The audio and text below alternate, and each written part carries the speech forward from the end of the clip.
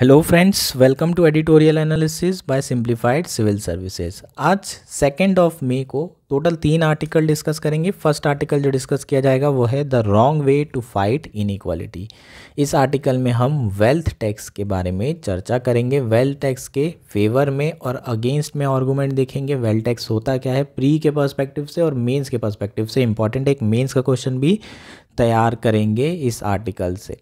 Next article जो discuss किया जाएगा वो है सी ऑल्सो राइजेस इसमें जो इंडियन ओशन का टेम्परेचर है, वो बढ़ता जा रहा है। उससे रिलेटेड एक स्टडी के बारे में चर्चा करेंगे, जिसका डेटा आपको पूछा जा सकता है प्री में, और मेंस के पर्सपेक्टिव से तो काफ़ी इंपॉर्टेंट है। प्लस जो ओशन का टेम्परेचर बढ़ रहा है, उसके कॉन्सिक्वेंस क्या होंगे, ये भी आपको पूछा जा सकता है। ये सारी चीज़ें डिस्कस करेंगे। नेक्स्ट आर्टिकल जो डिस्कस किया जाएगा, वो है अ टैक्स ऑन एस्पिरेशन इस आर्टिकल में हम इनहेरिटेंस टैक्स के बारे में बात करेंगे, जिस पर अभी रिसेंटली बहुत ज़्यादा डिबेट हो रही है। इनहेरिटेंस टैक्स होता क्या है? वेल्थ टैक्स से इनहेरिटेंस टैक्स में दोनों के बीच में डिफरेंस क्या है? और इसके प्रोज एंड कॉन्स की भी चर्चा की जाएगी। अगर इसे लगा दिया जाता है तो फ़ायदा होगा, नुकसान होगा। अगर आपको हमारा एनालिसिस पसंद आ रहा है तो प्लीज़ लाइक करिए कमेंट करिए शेयर करिए एंड सब्सक्राइब करिए। अगर आपको इसकी पीडीएफ चाहिए तो आप हमारा टेलीग्राम चैनल ज्वाइन कर सकते हैं, जिसकी लिंक नीचे दी होगी। और डायरेक्टली आप सर्च भी कर सकते हैं सिंप्लीफाइड सिविल सर्विसेज़ आइए शुरू करते हैं हमारा एनालिसिस हमारा फ़र्स्ट आर्टिकल है the wrong way to fight inequality यह आर्टिकल द हिंदू में आया है। G S three economy mains के पर्सपेक्टिव से इंपॉर्टेंट है। प्रिलिम्स 2024 के पर्सपेक्टिव से और भी ज़्यादा इंपॉर्टेंट है। इस आर्टिकल में हम वेल्थ टैक्स के बारे में बात करेंगे और एक मेंस का क्वेश्चन तैयार करेंगे। क्या मेंस में पूछा जा सकता है आपको? Critically analyse the case of wealth tax to reduce in wealth tax लगा करके क्या हम जो है इन इक्वालिटी को कम कर सकते हैं? इसके प्रॉज एंड कॉन्स के बारे में आपको बात करना है। बेसिकली जो वेल्थ टैक्स है, उसके फेवर में आर्गूमेंट देंगे और उसके अगेंस्ट में आर्गूमेंट देंगे। इस आर्टिकल के थ्रू ये मेंस का क्वेश्चन तैयार करेंगे। आर्टिकल आया क्यों है? क्योंकि रिसेंटली जो लोकसभा इलेक्शन चल रहे हैं, उसमें रीडिस्ट्रीब्यूशन ऑफ़ वेल्थ के बारे में बहुत चर्चा हो रही है। और जो रीसेंट रिपोर्ट्स आ रही हैं इंडिया में इन से रिलेटेड वो बहुत ग्रिम पिक्चर रिवील कर रही है। तो इन दोनों को अगर हम मिक्स कर दें तो ये आर्टिकल बेसिकली जो वेल्थ टैक्स है, उसके ऊपर आया हुआ है और उसमें बताया गया है कि वेल्थ टैक्स लगाने के क्या प्रॉस एंड कॉन्स हो सकते हैं। तो basically argument in favour of wealth tax and argument against wealth tax ये सारे एस्पेक्ट पर चर्चा करेंगे। ऑलरेडी हम कई बार डिस्कस कर चुके हैं इन इक्वालिटी से रिलेटेड डेटा 2022 में अगर टॉप वन परसेंट पॉपुलेशन की बात करें तो टोटल वेल्थ जो वन परसेंट पॉपुलेशन ओन कर रही है रिच वन परसेंट वो फोर्टी परसेंट के अराउंड है। और अगर हम टोटल इनकम की बात करें तो टोटल इनकम 22.6 परसेंट के अराउंड है 22.6 बॉटम 50 परसेंट की बात करें तो उनकी जो टोटल वेल्थ है, वो 6.4 परसेंट के अराउंड है और टोटल इनकम 15 परसेंट के अराउंड है। तो अगर आप देखें तो बहुत ज़्यादा इनक्वलिटी है। 50 परसेंट ऑफ़ पॉपुलेशन के पास टोटल जो इनकम है, वो 15 परसेंट है और टॉप वन परसेंट जो रिच हैं, उनके पास 22 परसेंट टोटल इनकम है। तो यहाँ पर एक ग्रिम पिक्चर आपको देखने के लिए मिल रही है कि इन इक्वलिटी लेवल इंडिया में कितना ज़्यादा बढ़ चुका है। अब वेल्थ टैक्स होता क्या है? पहले इसके बारे में चर्चा कर लेते हैं। It is a direct tax on individual assets such as cash shares and property ये बेसिकली वेल्थ की बात कर रहा है और वेल्थ टैक्स में डायरेक्ट टैक्स लगाया जाता है इंडिविजुअल के ऊपर। जैसे इनकम टैक्स होता है, आपकी इनकम के ऊपर लगता है, उसी तरीके से वेल्थ टैक्स भी लगाया जा सकता है। जिस पे लगाया जाएगा इंडिविजुअल पे, उसी को वो बर्डन उठाना पड़ेगा। Therefore it is a direct tax it was introduced in 1957 for the first time post independence post independence के बाद इंडिया में पहली बार जो वेल्थ टैक्स था, वो उन्नीस में इंट्रोड्यूस किया गया था और जो लगाया गया था वो कितना था? वन परसेंट टैक्स लगाया गया था over thirty lakh earning per year अगर आपकी इनकम तीस लाख से अधिक है तो आपके ऊपर वन परसेंट वेल्थ टैक्स भी लगाया जाएगा। हालाँकि एनडीए गवर्नमेंट जब आई थी तो उन्होंने ये टैक्स को वेल्थ टैक्स को रिपील कर दिया था। Because of improper implementation properly ये इम्प्लीमेंट नहीं हो रहा था, इससे जो रेवेन्यू मिलना चाहिए था वो नहीं मिल रहा था। एडमिनिस्ट्रेटिव कॉस्ट बहुत ज़्यादा होते जा रही थी। इसलिए जो सरकार है, उन्होंने वेल्थ टैक्स को रिमूव और रिपील कर दिया था, जो एनडीए की सरकार थी। अब वेल्थ टैक्स के फेवर में जो आर्गूमेंट हैं, उसे देख लेते हैं। It helps to reduce wealth gap main objective ही यही है वेल टैक्स लगाने का कि ये इनइक्वालिटी कम करेगा। जो हाई नेटवर्थ इंडिविजुअल हैं उन पर ये वेल्थ टैक्स लगाया जाएगा और उससे जो रिसोर्सेज हैं वो रीएलोकेट होगी। जो रिसोर्सेज है वो पहले सरकार को मिलेगी और सरकार उस रिसोर्सेज का सोशल वेलफेयर में एक्सपेंडिचर कर सकती है। तो डायरेक्टली उसका कंट्रीब्यूशन कहाँ होगा? सोसाइटी में होगा। सरकार जो है पब्लिक गुड्स की फंडिंग के लिए भी इस एक्स्ट्रा रिसोर्स को यूज़ कर सकती है। पब्लिक गुड्स मतलब जो नॉन एक्सक्लूडेबल और नॉन राइवलरस होते हैं, जैसे कि आपका एजुकेशन हो गया जैसे कि आपका हेल्थ सेक्टर हो गया, इन सेक्टर में जो है एक्स्ट्रा रिसोर्सेज सरकार यूज़ कर सकती है ताकि वनरेबल सेक्शन ऑफ़ सोसाइटी को लोअर स्टेटा को बेहतर एजुकेशन बेहतर हेल्थ प्रोवाइड की जा सके। साथ साथ जब वेल्थ गैप कम होता है तो सोसाइटी में क्योज भी नहीं होता है। हैव एंड हैव नॉट की जो सिचुएशन है, वो नहीं आती है।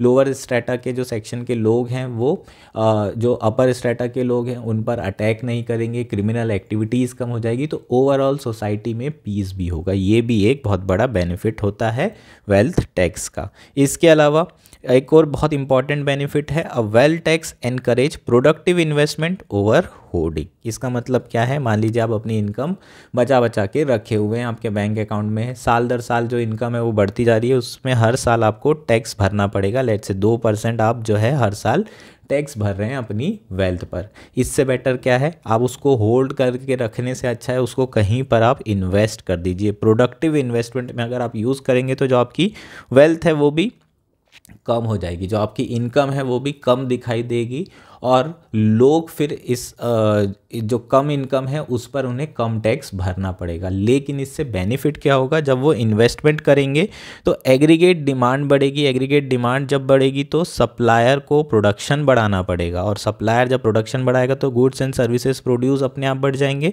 सप्लायर प्रोडक्शन बढ़ाएगा तो ऑब्वियसली उसे एम्प्लॉयमेंट भी देना पड़ेगा। तो ओवरऑल जीडीपी और एम्प्लॉयमेंट बढ़ेगा अगर हम इस टैक्स को लगाते हैं। तो क्योंकि जो इनकम है जो कि होल्ड की हुई थी, जो वेल्थ है जो कि होल्ड की हुई थी, उसका फिर प्रॉपरली इस्तेमाल किया जा सकेगा क्योंकि अननेसेसरली लोगों को टैक्स भरना पड़ रहा है। तो ये कुछ आर्गूमेंट हो जाएँगे जो कि इस टैक्स के फेवर में। अब अगेंस्ट में क्या आर्गूमेंट है, वो देख लेते हैं। पहला और मोस्ट इंपॉर्टेंट आर्गूमेंट है flight of high net worth individual India से वो लोग जिनकी इनकम या वेल्थ बहुत ज़्यादा है, वो कहीं और जाके शिफ्ट हो जाएँगे। अपना बेस कोई और कंट्री में बना लेंगे ताकि उन्हें वेल्थ टैक्स ना देना पड़े। और ऐसे में बहुत ज़्यादा नुकसान हो सकता है क्योंकि जो इन्वेस्टमेंट करते ये, वो इन्वेस्टमेंट नहीं हो पाएगा। और इन्वेस्टमेंट नहीं होगा तो ओवरऑल जीडीपी और एम्प्लॉयमेंट को धक्का लगेगा ही। दूसरा क्या है? हाई कंप्लायंस कॉस्ट इसकी जो कंप्लायंस कॉस्ट है ना, वो बहुत ज़्यादा होती है। एडमिनिस्ट्रेटिव कॉस्ट बहुत ज़्यादा होती है। वैल्यूएशन करना एसेट का। ये ये अपने आप में एक बहुत बड़ा डिस्प्यूट है।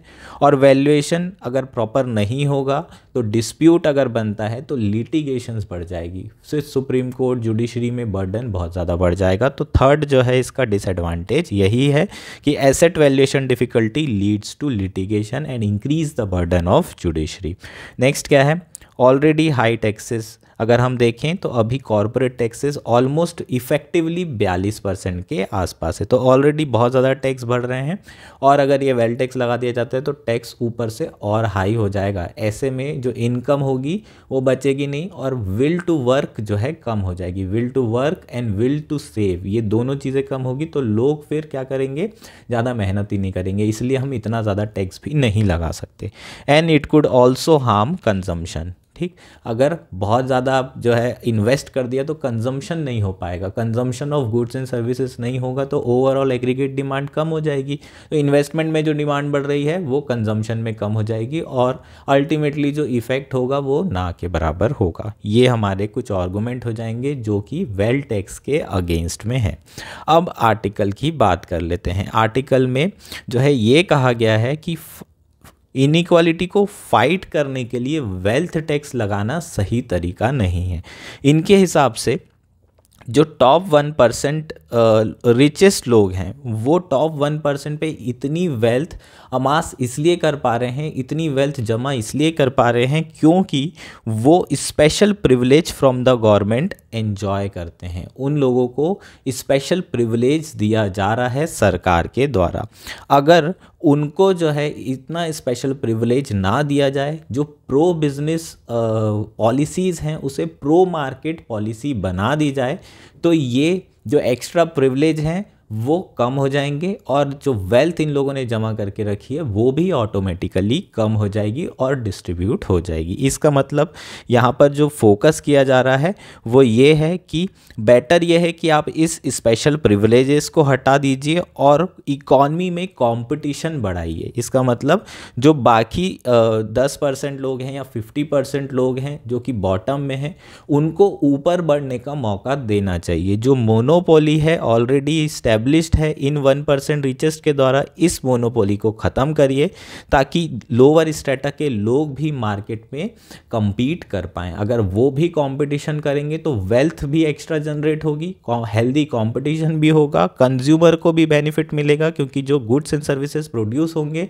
उसके प्राइसेस भी कम हो जाएँगे। अगर कंपटीशन बहुत ज़्यादा होता है तो परफेक्ट कंपटीशन वाली इकॉनमी बनाई जा सकती है। इंडिया में जो मार्केट स्ट्रक्चर है वो इम्परफेक्ट मार्केट स्ट्रक्चर है परफेक्ट कंपटीशन वहाँ है नहीं। ज़्यादातर जो पॉलिसीज़ होती है सरकार की, वो प्रो बिज़नेस पॉलिसी होती है और वो भी जो टॉप पे बैठे बिजनेसमैन हैं, उनके फेवर में पॉलिसीज़ होती है।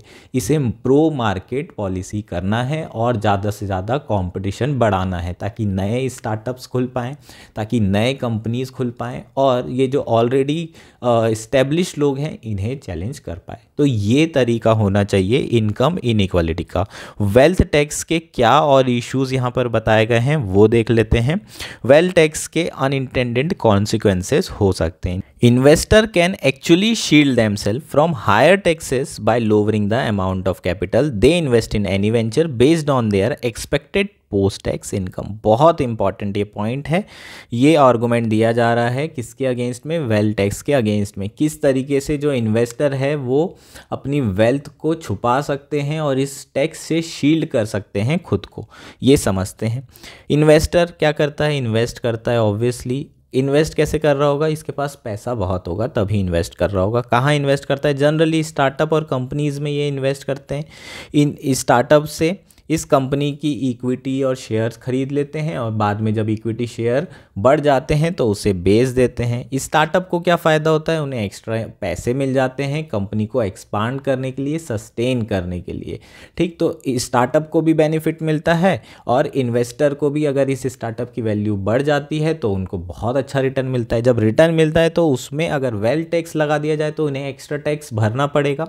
जो एक्स्ट्रा टैक्स ये भरेंगे तो इससे इनको नुकसान होगा। तो इन्वेस्टर क्या करेगा? लेट से अगर इन्हें बीस रुपये रिटर्न मिल रहा था जब वेल्थ टैक्स नहीं था तो ये इस तरीके से इन्वेस्ट करेगा स्टार्टअप में कि रिटर्न जो है बीस रुपये ही बना रहे और उसके लिए ये जो अपना इन्वेस्टमेंट है वो कम कर देगा और जो स्टार्टअप है उससे बोलेगा कि मुझे उतना ही रिटर्न चाहिए, बीस रुपये ही रिटर्न चाहिए। तो अब स्टार्टअप के साथ क्या इश्यू हो गया कि उसे जो पैसा मिल रहा है वो तो कम मिल रहा है और उसे रिटर्न उतना ही प्रोवाइड करना है। अब रिटर्न उतना ही देना है, इसका मतलब जो भी प्रॉफिट हो रहा है स्टार्टअप का, उससे वो रिटर्न जो है इन्वेस्ट इन्वेस्टर को बीस ही रुपये देगा तो किसी और से लेकर देगा तो कहाँ से लेकर के देगा? वर्कर की जो इनकम है वो कम हो जाएगी और इन्वेस्टर को उतना ही पैसा मिल रहा होगा। यहाँ पर स्टार्टअप के लिए भी नुकसान है और वर्कर की इनकम को भी बहुत ज़्यादा नुकसान पहुँच सकता है। तो हमारा जो मेन पर्पस था इनइक्वालिटी कम करने का, वो इनइक्वालिटी और बढ़ जाएगी। इन्वेस्टर को वेल टैक्स लगेगा ही नहीं,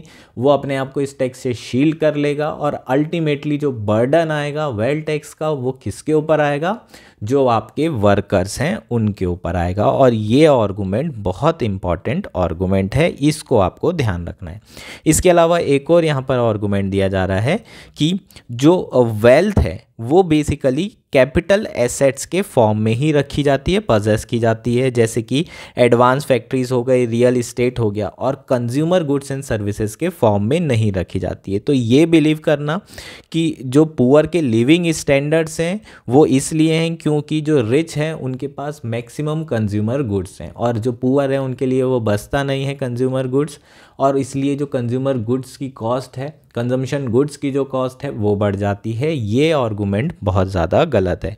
इनफैक्ट अगर हम बात करें तो जो कैपिटल एसेट्स होते हैं, वो प्रोडक्टिविटी ऑफ़ वर्कर बढ़ा देते हैं। अगर आप मशीन की बात करें, अगर मशीन में एक लेबर को लगाया तो एक दिन में कई सारी चीज़ें प्रोड्यूस हो सकती है। चार लेबर को लगा कर भी आप जो है चार ही शर्ट बना रहे हैं और एक मशीन का इस्तेमाल करके एक लेबर जो है दिन भर में चालीस शर्ट बना रहा है। तो लेबर की प्रोडक्टिविटी बढ़ाने में, उनकी इनकम बढ़ाने में और ओवरऑल गुड्स एंड सर्विसेज़ के आउटपुट को बूस्ट करने में, ये जो एसेट होते हैं, ये मेन रोल अदा करते हैं और यही एसेट बेसिकली आपके वेल्थ होते हैं।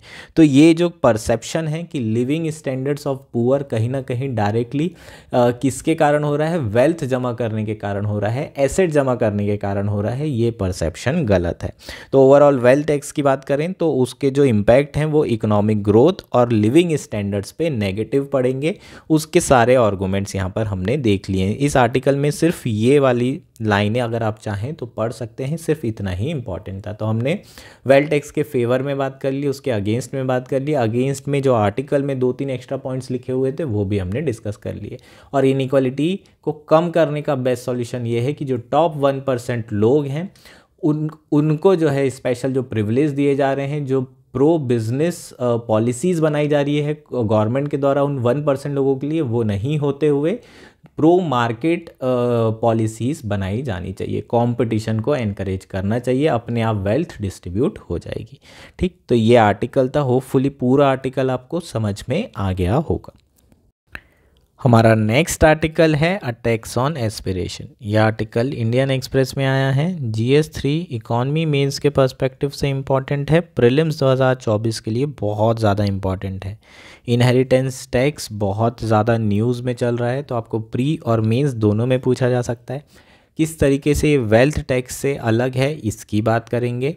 और जिन रीजंस के कारण वेल टैक्स न्यूज़ में है, उसी तरीके से इनहेरिटेंस टैक्स भी न्यूज़ में है। कांग्रेस का रिसेंटली जो मैनिफेस्टो आया, उसमें रीडिस्ट्रीब्यूशन ऑफ़ वेल्थ की बात की गई है। और उसके बाद जो कांग्रेस के रिसेंटली एक लीडर हैं सैम पित्रोदा उन्होंने कहा है कि इनहेरिटेंस टैक्स के बारे में सोचा जा सकता है। हालाँकि कांग्रेस ने उन, उनके व्यूज़ को पर्सनल बताया है और अपने आप को उससे अलग कर लिया है, लेकिन अब एक डिबेट शुरू हो गई है इनहेरिटेंस टैक्स के ऊपर। तो इनहेरिटेंस टैक्स क्या है? और उसके फेवर में जो आर्गूमेंट है और अगेंस्ट में जो आर्गूमेंट है, उस पर चर्चा करनी ज़रूरी हो जाती है। मेंस में ये सारी चीज़ें आपको पूछी जा सकती है। It is a one time tax that charge on a high value inheritances basically ये वन टाइम टैक्स होता है और किस पे चार्ज किया जाता है? इनहेरिटेंसेस पे। लेट से समझते हैं एक एग्जांपल के थ्रू कि ए जो है पर्सन की प्रॉपर्टी है सौ करोड़ की और उनकी डेथ के बाद ये प्रॉपर्टी उनके सुपुत्र बेटे को बी को ट्रांसफ़र कर दी जाती है। जब ये ट्रांसफ़र होगा तो ये सौ करोड़ की प्रॉपर्टी पे सरकार कुछ टैक्स लगाएगी। जो टैक्स लगाया जाएगा, उसे इनहेरिटेंस टैक्स कहा जा रहा है। ये वन टाइम टैक्स है। क्यों वन टाइम टैक्स है? क्योंकि प्रॉपर्टी एक ही बार ट्रांसफ़र होगी ए से बी के बीच में, है ना? अगर अलग अलग टाइम पे ट्रांसफ़र होती है तो उसके वैल्यूएशन के हिसाब से अलग अलग जो है टैक्स लिया जाएगा। हालाँकि जो प्रॉपर्टी ट्रांसफ़र की जा रही है, जो इनहेरिटेंस ट्रांसफ़र किया जा रहा है, वो जनरली एक ही बार जो डेथ होती है, उसके बाद ही होता है और उसके बाद ही ये टैक्स लगाया जा सकता है। इसलिए इसे डेथ टैक्स भी कहा जाता है। ये आपको ध्यान रखना होगा, ये टर्म्स आपको पूछे जा सकते हैं। अब ये वेल टैक्स से डिफरेंट कैसे है? It is different from wealth tax which is annual tax charge on wealth when owner is alive जो वेल्थ टैक्स होता है वो इंडिविजुअल की इनकम और वेल्थ के ऊपर होता है और उसे हर साल ये वेल्थ टैक्स चुकाना पड़ता है। जो भी वो इनकम जमा करते जाएगा, जो भी वो वेल्थ एसेट जमा करते जाएगा, उसके ऊपर सरकार एक परसेंट, दो परसेंट टैक्स लेगी। वो वेल्थ टैक्स कहलाता है, ठीक? और इनहेरिटेंस टैक्स वन टाइम होता है और वेल्थ टैक्स हर साल लगाया जा सकता है।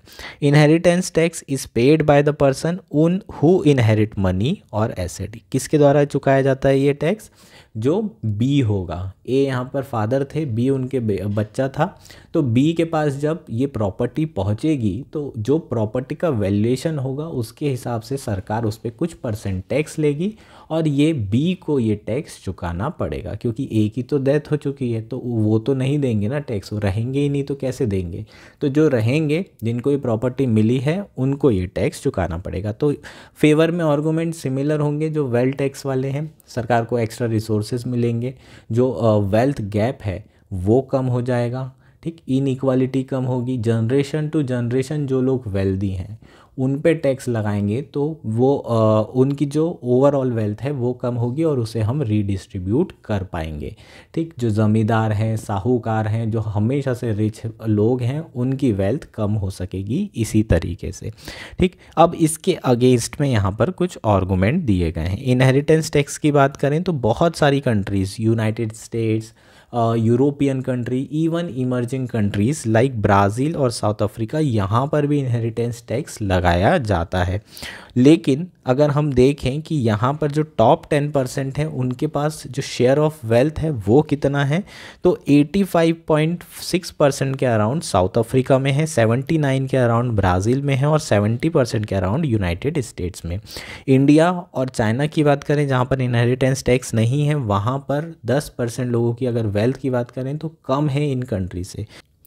सो so, जो डेटा है वो क्लियरली ये शो कर रहा है कि जो इनहेरिटेंस टैक्स है can not be use for equitable wealth distribution inheritance tax लगाने से जो वेल्थ डिस्ट्रीब्यूशन है वो बिल्कुल भी नहीं हो रहा है क्योंकि जहाँ पर इनहेरिटेंस टैक्स है वहाँ पर वेल्थ का जमावड़ा ज़्यादा है वेल्थ का गैप ज़्यादा है और जहाँ पर इनहेरिटेंस टैक्स नहीं है, जैसे कि इंडिया और चाइना में, वहाँ पर टॉप टेन परसेंट वालों की वेल्थ कम है रिलेटिव टू अदर कंट्री ठीक है? नेक्स्ट आर्गूमेंट क्या है? Inheritance tax can be avoided by wealthiest individuals either by utilising asset asset exempt from the tax such as business agriculture property pension funds और by transferring their wealth above the taxable threshold well before their death जो wealthiest individual होंगे, वो inheritance tax avoid कर सकते हैं loop holes निकाल निकाल करके। जैसे कि हो सकता है कि जो अपनी वेल्थ है, उसे वो उस जगह ट्रांसफ़र कर दें जहाँ पर टैक्स नहीं लगता है। जैसे कि एग्रीकल्चर लैंड में उन्होंने ट्रांसफ़र कर दी। तो एग्रीकल्चर लैंड में तो आपको टैक्स नहीं लग सकता। कन्वर्ट करा लिया अपनी लैंड को एग्रीकल्चर लैंड में और उसके बाद फिर वो जो वेल्थ होगी, उसे इनहेरिट कर दिया, अपने बच्चों को दे दिया। तो ऐसी सिचुएशन में टैक्स से जो इंडिविजुअल्स हैं, जो वेल्दियस्ट इंडिविजुअल हैं, वो बच सकते हैं। और नुकसान किसको होगा? जो मिडिल क्लास लोग हैं, जिनके पास एक एकड़, दो एकड़ या फिर घर है, इस तरह की प्रॉपर्टी है, उनको बहुत ज़्यादा नुकसान होगा। माँ बाप जो है अपने बच्चों के लिए घर बनाते हैं, अपने लिए एक घर बनाते हैं और फिर वही ट्रांसफ़र करते हैं। मिडिल क्लास इनकम की तो यही कहानी है। वो एक घर अकेला होता है, जो कि ट्रांसफ़र होता है। किसके नाम पे? इनहेरिटेंस के नाम पे। और उस पर भी अगर आपको बहुत टैक्स भरना पड़े तो बहुत ज़्यादा नुकसान होगा किसका? मिडिल क्लास लोगों का। नेक्स्ट आर्गूमेंट है, जो इनहेरिटेंट टैक्स है, अगर ये बहुत ज़्यादा हाई लगा दिया जाता है, जैसे कि यूनाइटेड स्टेट्स में फोर्टी फाइव फिफ्टी परसेंट के अराउंड इनहेरिटेंस टैक्स लगा हुआ है। इसका मतलब आपकी एक करोड़ की प्रॉपर्टी में पचास लाख सरकार को देना है। तो इस केस में जो लोग होंगे, वो इन्वेस्टमेंट करना छोड़ देंगे कैपिटल एक्यूमुलेट ही नहीं करेंगे। बोले, सरकार को ही तो देना है, हमारे बच्चे को तो पैसा जा ही नहीं रहा है। क्या करेंगे जमा करके? सारा का सारा कंज्यूम करो। कंज्यूम करेंगे तो इन्वेस्टमेंट नहीं करेंगे इन्वेस्टमेंट नहीं करेंगे तो कंपनी एक्सपांड नहीं होगी। कंपनी एक्सपांड नहीं होगी तो एग्रीगेट डिमांड नहीं बढ़ेगी एग्रीगेट डिमांड नहीं बढ़ेगी तो सप्लाई नहीं बढ़ेगी सप्लाई नहीं बढ़ेगी तो जीडीपी नहीं बढ़ेगी और जीडीपी नहीं बढ़ेगी तो एम्प्लॉयमेंट नहीं बढ़ेगा। ओवरऑल इकॉनमी को बहुत ज़्यादा नुकसान हो सकता है इनहेरिटेंस टैक्स से इस आर्गूमेंट के हिसाब से। चीज़ें क्लियर है? इसके अलावा इनहेरिटेंस टैक्स जो है, जो फैमिली है उनको फोर्स कर सकता है कि वो अपने फैमिली बिज़नेस या एसेट्स को बेच दें। जो रियल इस्टेट की उनकी लैंड है, उसे बेच दें। उससे क्या होगा? वो जो बेच देंगे, वो कैश में आ जाएगा और उस कैश को डिस्ट्रीब्यूट कर देंगे। कैश को पकड़ पाना आसान नहीं होगा। ब्लैक मनी भी बहुत ज़्यादा बढ़ सकती है इन सारी चीज़ों से और इनहेरिटेंस टैक्स से बच जाएँगे। लेकिन नुकसान क्या होगा? जो फैमिली बिज़नेस होगा, वो जो है ख़त्म हो जाएगा। जो पहले आपकी जीवनी का साधन था, आपके बच्चों की भी जीवनी का साधन बन सकता था, वो अब ख़त्म हो जाएगा क्योंकि यहाँ पर टैक्स बचाने के लिए फैमिली एसेट्स को बेच दिया गया है। ये एक बहुत बड़ा इशू आ सकता है। इसके अलावा एडमिनिस्ट्रेटिव बर्डन भी बहुत बड़ा आएगा, है ना? किस तरीके से वैल्यूएशन करोगे, किस तरीके से आप जो एसेट है उसको, उसकी वैल्यू को काउंट कर रहे हैं। इससे डिस्प्यूट होंगे, लिटिगेशंस बढ़ेगी, जैसे कि वेल टैक्स में बात किए थे, ये सारी चीज़ें आएगी। इसके अलावा जो विडोज़ हैं या फिर एन हैं, उनके लिए बर्डन भी बहुत ज़्यादा बढ़ जाएगा। जो टैक्स एडमिनिस्ट्रेशन की प्रोसीजर है, उसको फॉलो करने में लगे होंगे। एडमिनिस्ट्रेटर्स, है ना? जैसे ही कोई ख़त्म होता है तो फिर उस समय डेथ सर्टिफिकेट बनाने के बाद ये सारी चीज़ें प्रोसीजर शुरू हो जाएगी। तो विडो के लिए, जो कि ऑलरेडी जो है इमोशनल और फाइनेंशियल स्ट्रेस में है, उसको ये प्रोसीजर फॉलो करनी पड़ेगी कितना हरासमेंट होगा। तो इस तरह की प्रॉब्लम भी बहुत ज़्यादा हो सकती है। नेक्स्ट और मोस्ट इंपॉर्टेंट पॉइंट है कि इंडिया में जो सोशल सिक्योरिटी सिस्टम है, वो बहुत ही पुअर है। है ना? Robust security social security system नहीं है. इनफैक्ट जो मिडिल क्लास के लोग होते हैं, वो इन्हीं प्रॉपर्टी पे कई बार रिलाय करते हैं। इसी को बेच करके वो जो है कुछ इनकम कमा लेते हैं। और उसी को बैंक में रख के इंटरेस्ट कमा लेते हैं और उसी से उनका काम चल रहा है। अब सरकार एम्प्लॉयमेंट तो दे नहीं पा रही है एम्प्लॉयमेंट है नहीं और जो प्रॉपर्टी है उसे भी ले ले रहे हैं, जो कि उनके माँ बाप ने जमा करी। स्पेशली मिडिल क्लास के जो लोग हैं, वो अपने एक आध ज़मीन खरीद ली एक आध घर खरीद लिया उसमें भी सरकार ने अगर आधा ले ली तो बहुत ज़्यादा नुकसान हो जाएगा। तो ये बेसिकली इसके कुछ इश्यूज़ हो जाएँगे। इसके अलावा कैपिटल फ़्लाइट हो जाएगी, जो हाई नेटवर्थ इंडिविजुअल हैं, वो भाग जाएँगे इंडिया से। ये सारी चीज़ें भी होगी, उससे अल्टीमेटली इन्वेस्टमेंट कम होगा और ओवरऑल नुकसान होगा। तो जो हमने वेल्थ में बात किए थे, वो सारे आर्गूमेंट यहाँ पर भी फिट बैठेंगे। कुछ एक्स्ट्रा आर्गूमेंट यहाँ पर, जैसे वीडो वाला फाइनेंशियल स्ट्रेस इमोशनल स्ट्रेस ये वाली चीज़ें इंपॉर्टेंट हो जाएगी। इसके अलावा सोशल सिक्योरिटी सिस्टम रोबस्ट नहीं है, ये वाला पॉइंट भी इंपॉर्टेंट हो जाएगा। होपफुली ये सारे आर्टिकल आपको क्लियर है। नेक्स्ट और आज का लास्ट आर्टिकल है सी ऑल्सो राइजेस यह आर्टिकल द हिंदू में आया है। G S three environment mains के पर्सपेक्टिव से बहुत इंपॉर्टेंट है। प्रीलिम्स 2024 के लिए भी बहुत इंपॉर्टेंट है। इंफॉर्मेशन बेस्ड आर्टिकल है डेटा बेस्ड आर्टिकल है। रिसेंटली एक स्टडी की गई है by the scientist of Indian Institute of Tropical Meteorology Pune and other international institution के द्वारा, जिसमें ये बताया गया है कि जो expected global carbon emission trend है वो बहुत ज़्यादा इम्पैक्ट करेंगे किसको? इंडियन ओशन को। रिपोर्ट में बात की गई है कि जो इंडियन ओशन है, अभी उसका टेम्परेचर लगभग 1.2 डिग्री के अराउंड जो है, बढ़ चुका है और ये अगले साठ से सत्तर सालों में बाय 2100 कितना हो सकता है? 1.7 डिग्री से 3.8 डिग्री के अराउंड ओवरऑल टेम्परेचर बढ़ सकता है। अगर हम इंडिया की बात करें तो इंडिया में जो हीट वेव्स है उसकी फ्रीक्वेंसी बहुत ज़्यादा बढ़ चुकी है। मई का मंथ है हालाँकि, इसलिए भी हीट वेव है, लेकिन फ्रीक्वेंसी बढ़ने का कारण ग्लोबल वार्मिंग है ग्रीन हाउस गैस एमिशन है, जिसके कारण ओवरऑल क्लाइमेट चेंज हो रहा है ग्लोबल वार्मिंग हो रही है और इसी के कारण हीट वेव की फ्रीक्वेंसी बढ़ गई है। स्टडी में वॉर्न किया गया है कि ये जो लैंड हीट वेव है, इसका counter part marine heat wave इसकी फ्रीक्वेंसी भी बढ़ जाएगी अगर इंडियन ओशन इसी तरीके से वार्म होता चला जाएगा। उससे होगा क्या?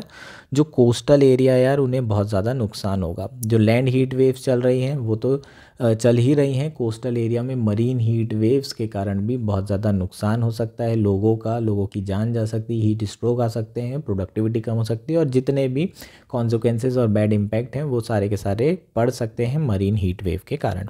अब सी सरफेस टेम्परेचर राइज हो रहा है। इंडियन ओशन का टेम्परेचर ओवर और बढ़ रहा है तो एक और चीज़ होगी। फॉर्मेशन ऑफ़ ट्रॉपिकल साइक्लोन बहुत तेज़ी से बढ़ जाएँगे। ठीक? कितनी फ्रीक्वेंसी बढ़ेगी? यहाँ डेटा दिया हुआ है, जो स्टडी की गई है, उसके हिसाब से जो करंट एवरेज है, वो 20 डेज़ पर ईयर का है। ये 220 से 250 डेज़ पर ईयर के आसपास हो जाएगा। इसका मतलब 220 दिन आपके ट्रॉपिकल साइक्लोन जो है कभी भी आ सकते हैं। अभी 20 25 डेज़ के अराउंड एक साल में ट्रॉपिकल साइक्लोन का फॉर्मेशन होता है। तो आपको हमेशा ही तैयार रहना पड़ेगा, इतनी ज़्यादा फ्रीक्वेंसी बढ़ जाएगी। इसके अलावा जो परमानेंट हीट वेव स्टेट है, वो भी बनी रह सकती है। क्योंकि मरीन में मतलब इंडियन ओशन में हमेशा हीट वेव रहेगी तो लैंड में ज़रूर पानी आ रहा है। लेकिन वही हवाएँ जो है आपके कोस्टल एरिया में आएगी और एक परमानेंट हीट वेव सिचुएशन भी बन सकती है। इससे होने वाले नुकसान में और क्या क्या हो सकता है? कोरल ब्लीचिंग हो सकती है। यार, कोरल रीफ बहुत इंपॉर्टेंट है। क्यों इंपॉर्टेंट है? क्योंकि बायोडाइवर्सिटी बहुत ज़्यादा होती है। इसे tropical rain forest of ocean भी कहा जाता है। बहुत ज़्यादा बायोडाइवर्सिटी बहुत ज़्यादा जो है स्पीशीज़ यहाँ पाई जाती है। अगर कोरल रीफ नहीं रहेगी, कोरल ब्लीचिंग हो जाएगी तो ये जो स्पीशीज़ हैं वो एक्सटिंट भी हो सकती है। तो बायोडाइवर्सिटी को बहुत ख़तरा है। इसके अलावा फिशरी सेक्टर को भी बहुत ख़तरा होगा, फिशेस भी एक्सटिंट हो सकती हैं और उसके कारण जो लाइवलीहुड है, उसको बहुत नुकसान पहुँच सकता है। जो सी सरफेस टेम्परेचर है, वो तो बढ़ ही रहा है। ओवरऑल जो ओशियन है, उसकी थर्मल कैपेसिटी भी बढ़ रही है। इसका मतलब अगर हम नीचे जाते हैं 2000 मीटर ओशियन के अंदर तो वहाँ पर भी जो टेम्परेचर है वो राइज होता हुआ दिख रहा है। तो ओवरऑल जो कॉन्सिक्वेंसेज होंगे वो क्या क्या होंगे ट्रॉपिकल साइक्लोन की फ्रीक्वेंसी बढ़ेगी सीवियर ट्रॉपिकल साइक्लोन आएँगे। इसके अलावा आपका जो मानसून है वो भी इरेटिक मानसून आने लगेगा क्योंकि टेम्परेचर जो है सी का बदलता जा रहा है। तो ओवरऑल जो है, जो हवाएँ हैं उसका रुख क्या होगा नहीं बताया जा सकता। नेक्स्ट क्या इशू होगा? जो आपके फ्लड है वो भी इरेटिक होगी, उसकी फ्रीक्वेंसी भी ज़्यादा होगी और ड्रॉट है उसकी फ्रीक्वेंसी भी ज़्यादा होगी। तो इस तरीके के इशू हो सकते हैं। इंडियन ओशियन में इंडियन ओशियन कंट्री को फेस करने पड़ सकते हैं। तो इंडिया को क्या करना चाहिए यार? इंडिया को बाकी कंट्रीज़ के साथ मिल करके डेटा एनालिसिस करने की ज़रूरत है। इंडियन ओशियंस पे ज़्यादा स्टडी करने की ज़रूरत है और जिस तरीके से चीज़ें हो रही है उसका डेटा और उसके इम्पैक्ट पे फोकस करने की ज़रूरत है और उसके हिसाब से फिर स्टेप्स और मेजर्स लेने की ज़रूरत है ताकि इंडियन ओशियन का जो टेम्परेचर बढ़ रहा है उसे कम किया जा सके और ओवरऑल जो उसके कॉन्सिक्वेंसेज हैं उसे कम किया जा सके। ये हमारा आर्टिकल था। होपफुली आर्टिकल आपको पूरा क्लियर हो गया होगा। That's it for today thank you and enjoy your day